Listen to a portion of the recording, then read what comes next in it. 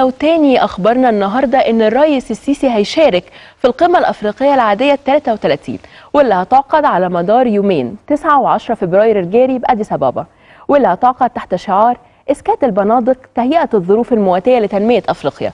ومن المقرر إن الرئيس السيسي يلقي كلمة في القمة يستعرض فيها الإنجازات اللي اتحققت بالقارة الإفريقية خلال رئاسة مصر للاتحاد الإفريقي واللي بدأت في فبراير عام 2019 ومن بينها منطقة التجارة الحرة القارية الأفريقية اللي دخلت حيز التنفيذ في مايو الماضي. تعالوا نشوف هذا التقرير عن أفريقيا اللي كانت ولا تزال وستظل في قلب مصر.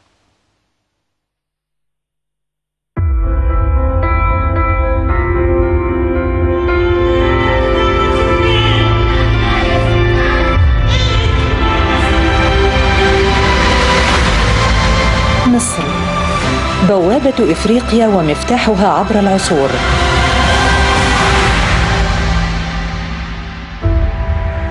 ظلت مصر دائما الداعمة والمناصرة للقضايا العادلة للقارة الإفريقية. إن الكثير مما يجري اليوم في إفريقيا إنما هو في حقيقة أمره من بعض مظاهر الاندفاع نحو التحرر الاقتصادي. ولسنا نرى أساسا قوميا أمتن من هذا الأساس ولا أسس في العام 2014 ومنذ تولي السيد الرئيس عبد الفتاح السيسي المسؤولية عظمت مصر جهودها تجاه القارة الإفريقية في كل المجالات وفي مجال حماية السلام والأمن بالقارة. في التاسع من فبراير عام 2019 يتولى الرئيس عبد الفتاح السيسي رئاسة الاتحاد الإفريقي ليؤكد عزم مصر على المضي في تحقيق أحلام القارة وطموحاتها أدعوكم أشقائي قادة إفريقيا للعمل معا على إعادة إحياء وتفعيل سياسة قارتنا الإطارية لإعادة الإعمار والتنمية. وانطلقت الكفاءات المصرية في ربوع إفريقيا لتساهم بجهود كبيرة في البناء والعمران والتنمية في مختلف المجالات.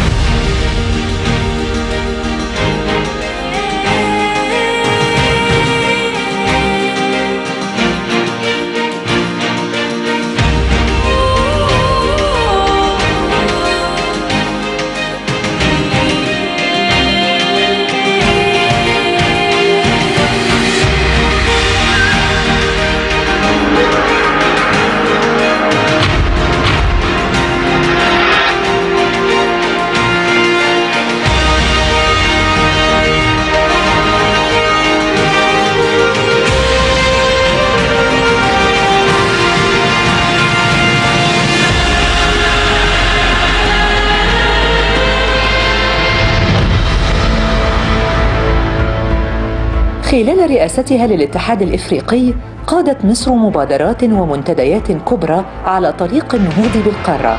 منها إطلاق المرحلة التشغيلية لاتفاقية التجارة الحرة الإفريقية التي توجت مساعي القارة وطموحاتها في التكامل والتنمية. مبادرة إسكات البنادق التي حصلت على الاهتمام السياسي العالمي وتأييد مجلس الأمن بالإجماع. اعتمد الاتحاد الإفريقي مبادرة اسكات البنادق بحلول عام 2020 التي تهدف إلى القضاء على كافة النزاعات والصراعات في القارة مع حلول عام 2020 من خلال إعداد أطر تنفيذية واضحة تعالج جذور النزاعات وتساهم في إعادة الإعمار والتنمية في فترة ما بعد انتهاء الصراع. المنتدى الاقتصادي لإفريقيا نوفمبر 2019 بالعاصمة الإدارية والذي ركز على دور القطاع الخاص في التنمية وتعزيز فرص الاستثمار وسبل تمكين المرأة بإفريقيا. منتدى أسوان للسلام والتنمية المستدامة ديسمبر 2019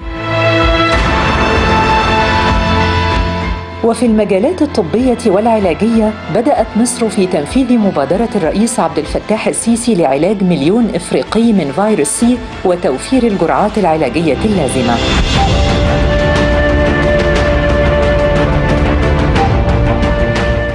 انطلقت مصر إلى أرجاء العالم ممثلة للقارة الإفريقية فلم تترك محفلا دوليا إلا وشاركت فيه حاملة آمال شعوب القارة في الحياة الكريمة وجذب المزيد من الاستثمارات وحمايتها من خطر الإرهاب. إن إفريقيا اليوم محط أنظار العالم ونجاح منطقة التجارة الحرة القارية هو الاختبار الحقيقي لتحقيق طفرة اقتصادية تلبي تطلعات شعوبنا في العيش الكريم الآمن. مؤتمر ميونخ للأمن. القمة الصينية الإفريقية. قمة مجموعة العشرين في أوساكا باليابان. قمة السبع الكبرى بفرنسا. القمة اليابانية الإفريقية تيكاد سبعة. أول قمة روسية إفريقية في التاريخ والتي ترأسها الرئيس عبد الفتاح السيسي ونظيره الروسي فلاديمير بوتين. قمة الاستثمار الإفريقية البريطانية بالعاصمة البريطانية لندن. ولأن شباب إفريقيا في القلب من رؤية مصرية شاملة عملت مصر على تأهيلهم وإبراز مواهبهم. وبرعاية مصرية انطلقت فعاليات منتدى شباب العالم في نسخته الثالثة ديسمبر 2019 بمدينة شرم الشيخ في تجربة أكثر ثراء وتنوعاً. إفريقيا 2063 أجندة رسمها وحددها الرؤساء والقادة الأفارقة لخلق إفريقيا جديدة تنعم بالأمن والازدهار.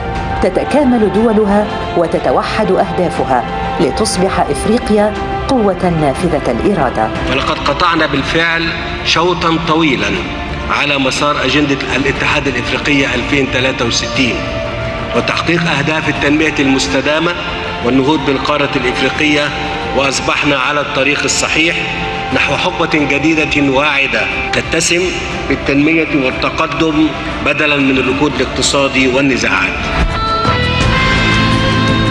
وبعد عام زاخر بالعطاء والنجاحات تسلم مصر رئاسة الاتحاد الإفريقي لدولة إفريقية شقيقة لتستكمل مسيرة التكامل والتنمية دون أن تترك مصر دورها أو تتخلى عن مسؤولياتها تجاه القارة. فمصر بوابة إفريقيا ومفتاحها وإفريقيا دائما في قلب مصر.